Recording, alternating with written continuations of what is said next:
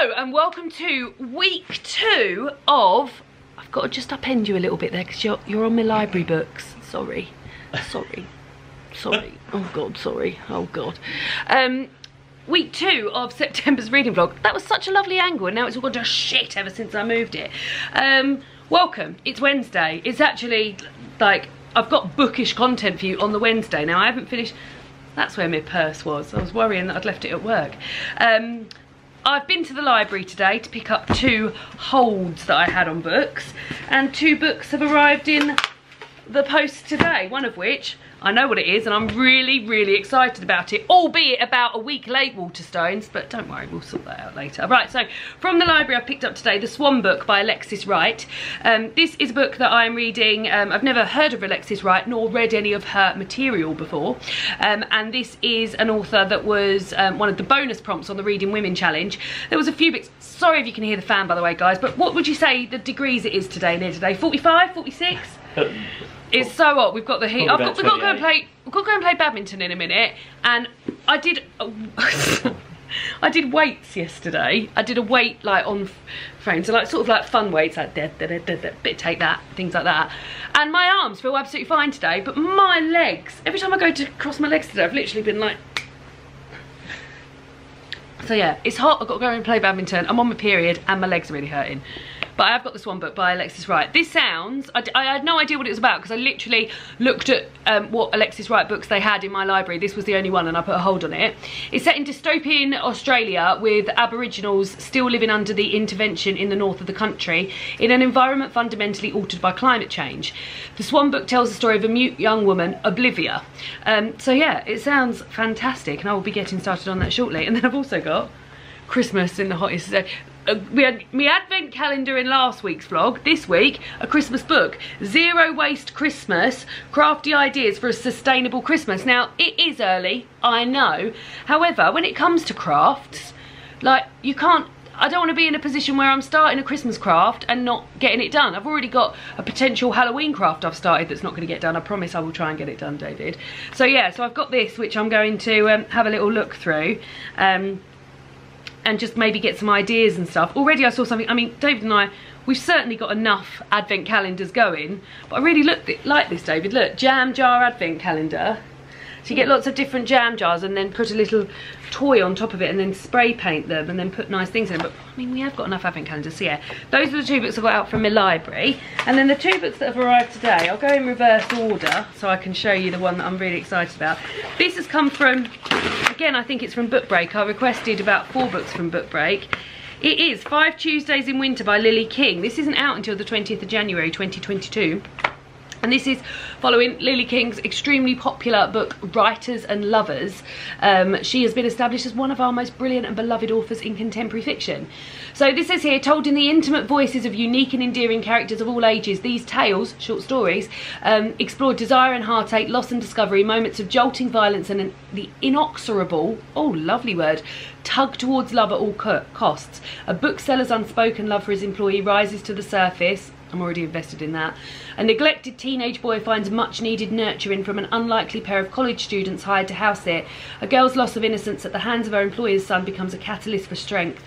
And a proud nonagenarian does that mean someone in their 90s? I think it does, doesn't it? Uh, rages helplessly in his granddaughter's hospital room. Romantic, hopeful, brutally raw, and unsparingly honest, some even slipping into the surreal. These stories are, above all, about King's enduring subject of love. Oh, lovely. I read an amazing book about love earlier this year. Um, so yeah, be interested in reading that as well. Is that one to hang on to till Valentine's Day? Oh, who knows? Um, and then this. Oh, the bother we've had with this, eh, David?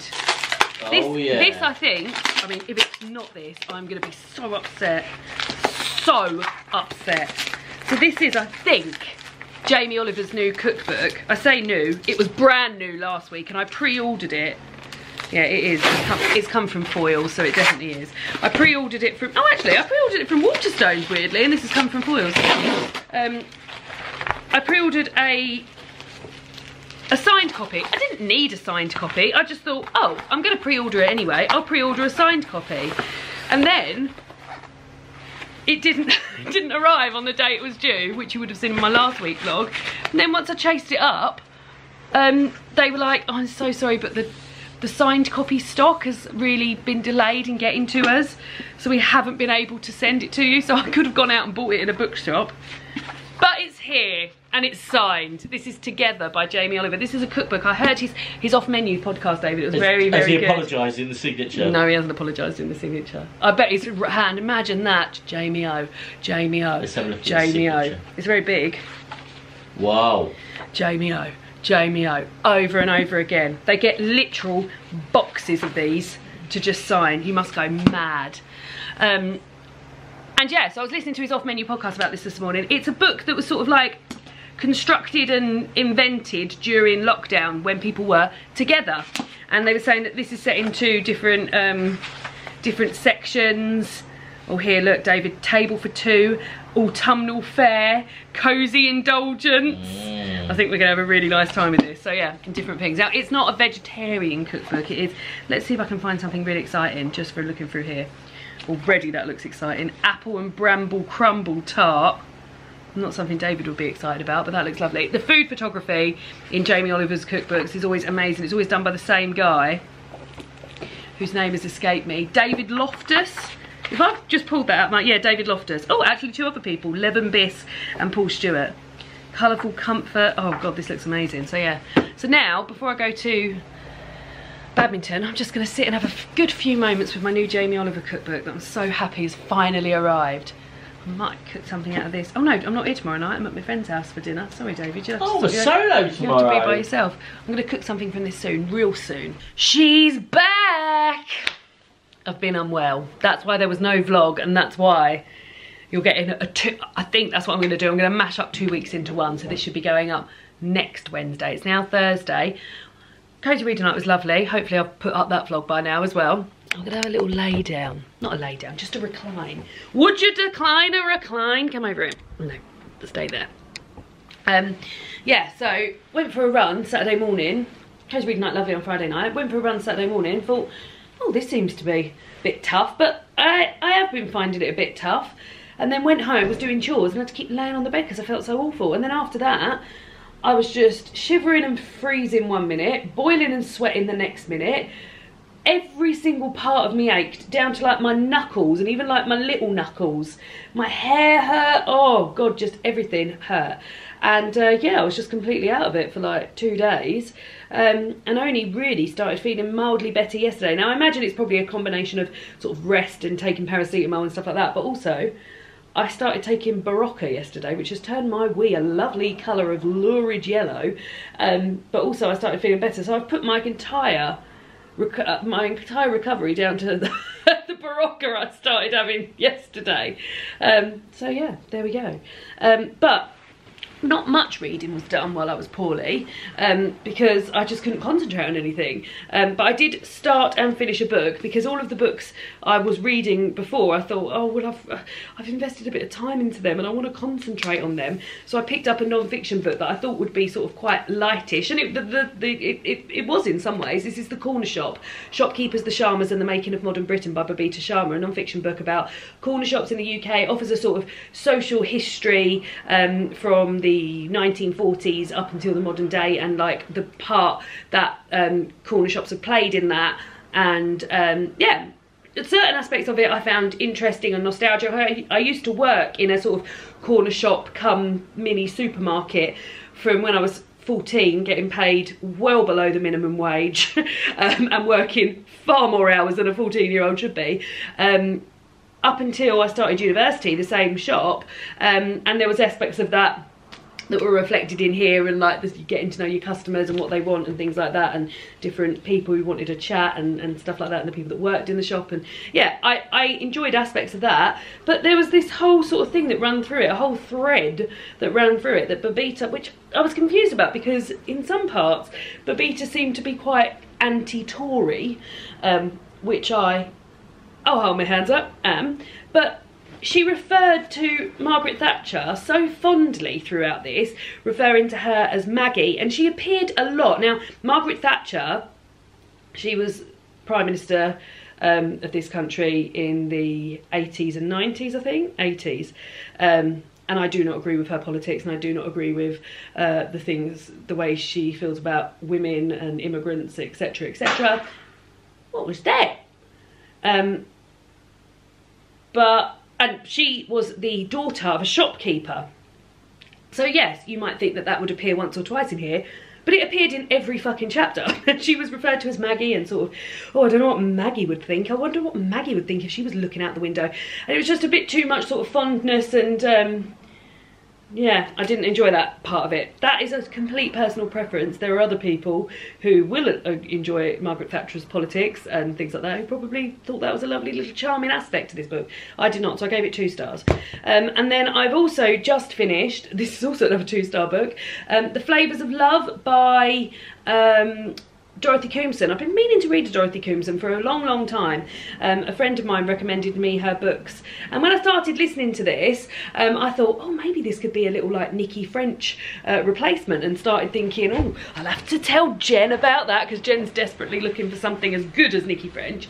But this story... Um, started with and there'll be spoilers in this bit i guess um, the, this story started with um, the character, the main character, whose name was Saffron and her husband referred to her as Fronny, which I didn't like anyway. Um, and uh, her husband gets murdered in a seemingly uh, random attack. Um, and it turns out that no, it wasn't a random attack, and Saffron actually knows who did it. And there is sort of like, for reasons I didn't really understand, she wasn't going to the police about for a minor detail that maybe like never really came to light that would have potentially got her daughter in trouble. Also, her 14 year old daughter was pregnant. So all of this was going on, and then slap bam, literally like halfway through, this really, really heavy um, eating disorder chat started coming in. So trigger warning for eating disorders, but like talking about how the food would feel in our mouth, and like I've never had an eating disorder. I've definitely had problems with food in the past, counting calories, restricting what I was eating. I guess that probably is an eating disorder, um, but never anything that inquired in, uh, required intervention. Um, but yeah, there was different parts in this where I was thinking, fucking hell, this is really heavy, and I'm glad I um, not triggered by this sort of thing because I can see it being completely triggering. And that came with no warning. There was nothing on the back of the book that said anything uh, uh, anything that referred to a, an eating disorder. And just having read a Marian Keyes book where eating disorders are, um, it, one of the main characters has an eating disorder and how sort of sensitively and seriously that was handled um, in there, I just felt it was a bit sort of flippant and just almost seemed like, uh, I feel like it was being sort of promoted a bit as a wonderful way to deal with the death of your husband. Um, so yeah, I, I didn't enjoy enjoy that bit. And also, the book itself was narrated by Adjoa Andoh, who is a, a, British actress who, and I've also seen her sort of interviewed on TV, and I really like her as an actress and as a person. But the last three books that I've listened to that she's narrated, I've hated them. So she listened to, uh, she narrated Take a Hint, Chloe Brown, and you remember how much, or, or Get a Life, Danny Brown, or whatever it was called. You remember how much I hated that. I hated that book. And just her sort of like baby voices she does and like the sort of sexy voices. And that sort of got reflected a bit in here. The, the Saffron is getting letters from the person who murdered her husband throughout the book. And the voice she puts on when she's reading the, the letters out is just so silly. And just, I just thought, oh my God, just sometimes babes, less is more. so yeah, so I gave that two stars as well. So that's the plan. I'm still reading She Became the Sun and um, these are the two books I picked up on Cozy Reading Night, A Bigger Picture and The Swan Book.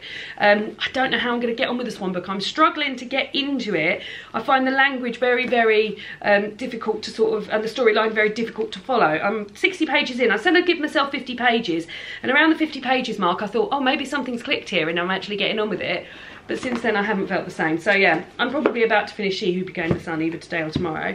I'm off tomorrow, it's Friday um, tomorrow and I'm off from work.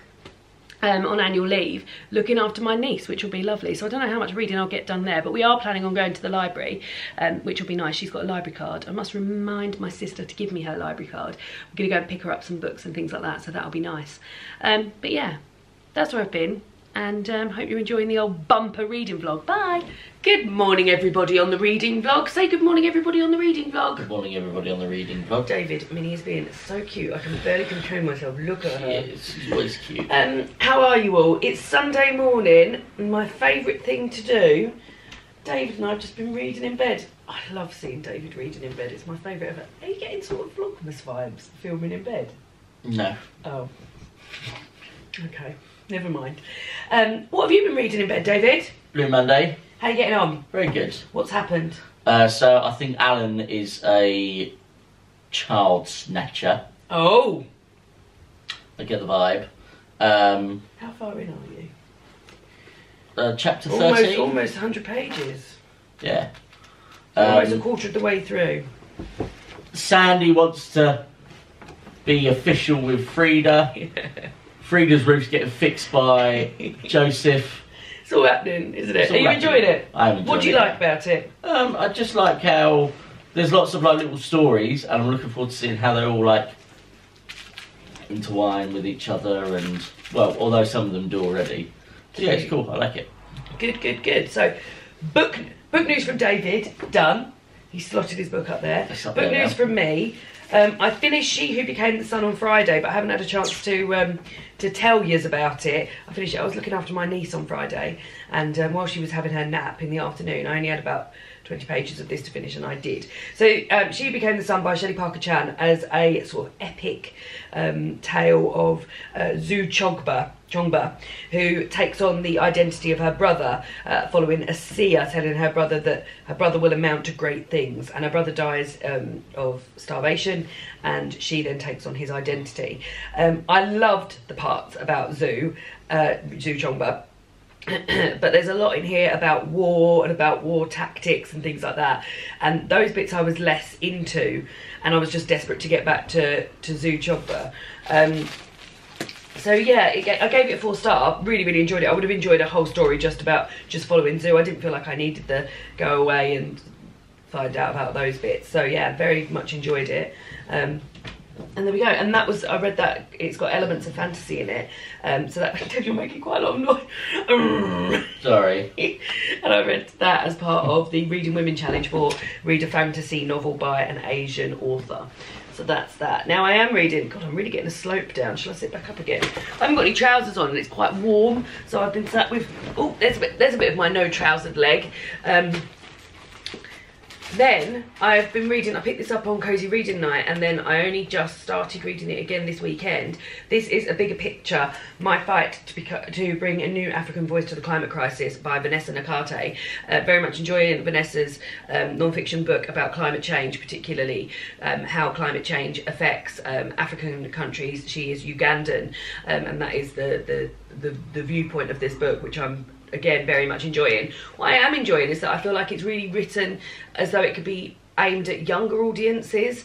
Um, climate change and stuff, I guess, wasn't that as much of a big deal, was it? When like we weren't as aware of climate change when we were younger. No. So I feel like this is a good opener um, for for younger people who want to get involved with climate change and just also seeing it from a different perspective.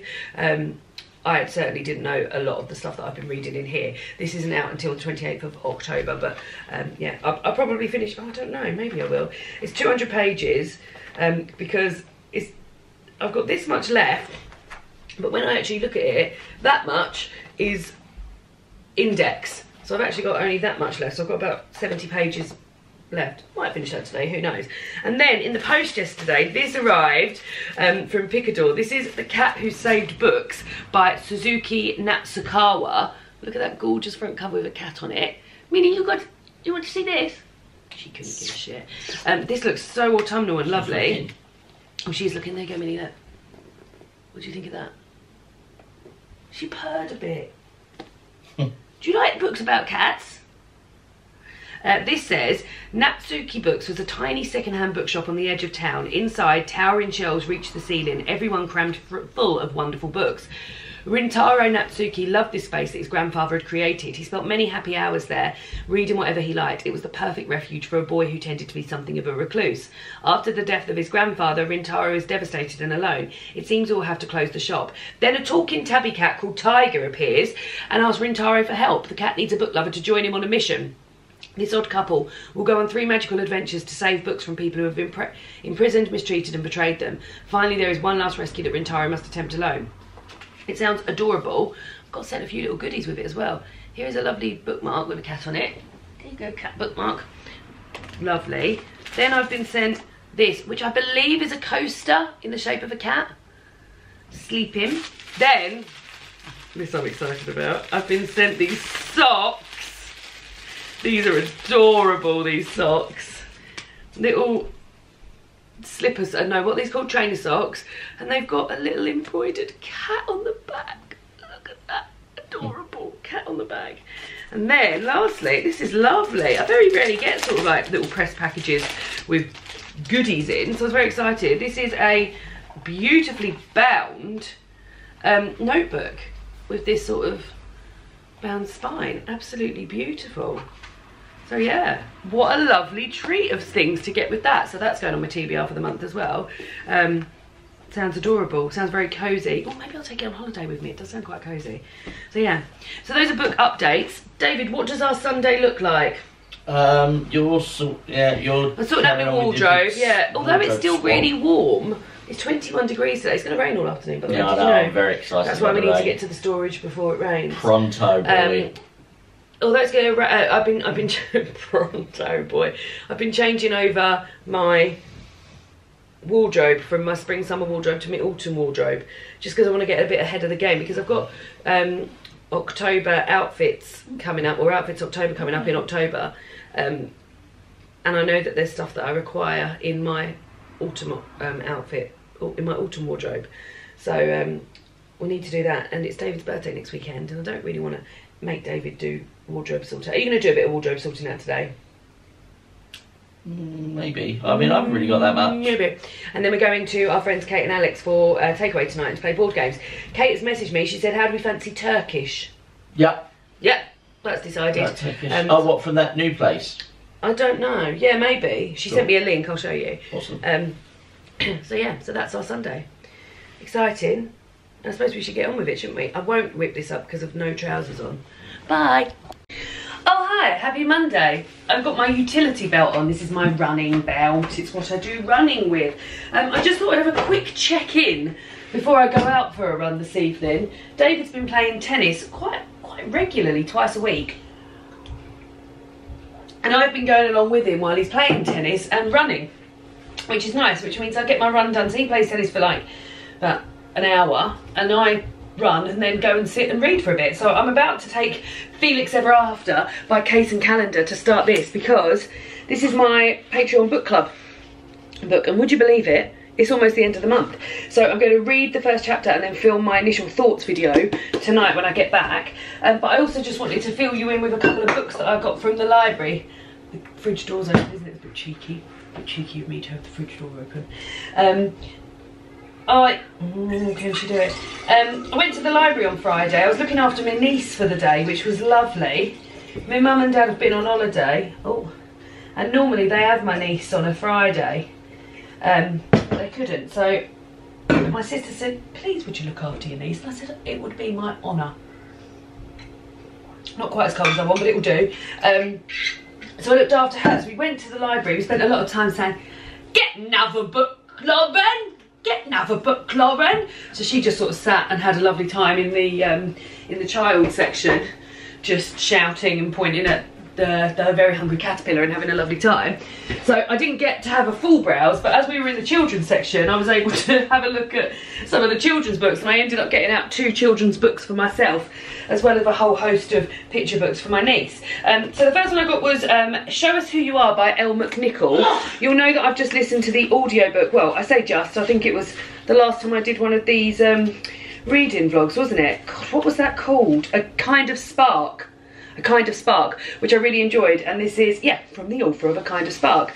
Um, so this says when cora meets adrian she isn't looking for a new best friend. She doesn't want to explain that she's different but adrian surprises her and soon she's drawn into a whirlwind of fun adventure and true friendship and on the world of the mysterious pomegranate institute. I am that is mysterious. I've got to go because the battery's flying so i'll also just show you that i also got angrosaurus rex um, Darcy Burdock by Laura Dockrill. You will know that I love Laura Dockrill's um, Big Bones, and I've been meaning to read more of those. And it says here the new Tracy Beaker, and I used to love Tracy Beaker when I was younger. So yeah, these two I got out from the library. Better go because my battery's going to go. Got to go for a run. Talk to you later. Bye.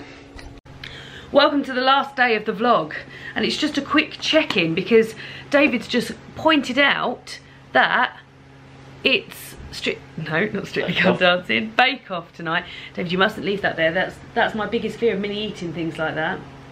Bit of plastic. Um, it's bake off to tonight. me. I don't know where haven't taken off any new items of clothing. Okay, well, if it was me, I'm sorry, but I don't think it was because it was on there, and I don't think I've done That anything wasn't like that. Um, it's Bake Off tonight. Shut up. what were you even saying? it's Bake Off tonight, and um, I'm actually just home from work. I had an absolute clear run on the way home, David. It's half past four. It literally took me half hour to get home. That's unbelievable. Um, and I'm going to make a cake for tonight. Um, I'm going to make something. I think I've got stuff. I could make that bread and butter pudding. Orange bread and butter pudding. Yes, You want that? yes, And then you can have the rest of it tomorrow. yes. I can have it for breakfast as well. Oh, that's cheeky, that is. That's it. That's the naughtiest breakfast ever. That's worse than having a Pop Tart. Well, a naughty girl. so I think I'll make that. Um, but I just wanted to check in with my reading before we finish. What are you doing? Just looking at pictures of puppies and cats.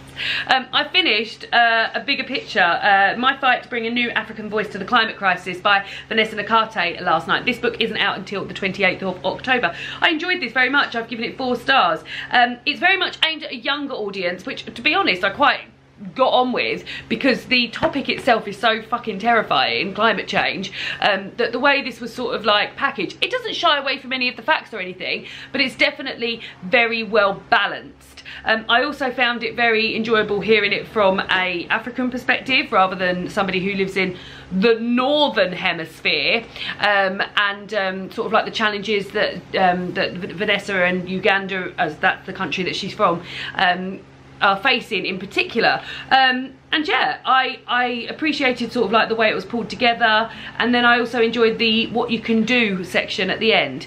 And it sort of, I mean, in terms of climate crisis, I feel like we we do the best we can between uh, me and you, don't we? I'm vegetarian, David was a vegetarian until about three weeks ago, maybe longer than that, Longer weren't than you? that, yeah. Um, we're very good. We've, we've, we're signed up to all sorts of companies that involve us not using plastic, for example, Splosh and um, Wild deodorant, and what else do we use? Oh, who gives a crap for our toilet roll and things like that. So we're doing our very best. We've got one car that we use for the very bare minimum to get to work and stuff. Yeah. Um, and yeah, so we, we, we try our best. We never fly.